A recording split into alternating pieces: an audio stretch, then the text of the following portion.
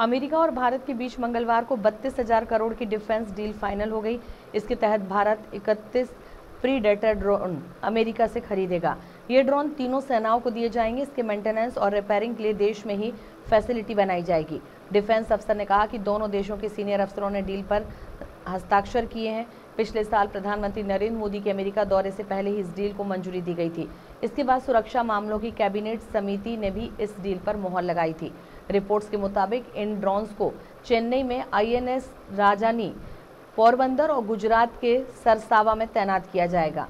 इसके अलावा यूपी के गोरखपुर में भी तैनात किया जाएगा। इंडियन नेवी को 15 सी गार्जियन ड्रोन मिलेंगे। एयरफोर्स और आर्मी को ऐसे आठ आठ ड्रोन मिलेंगे।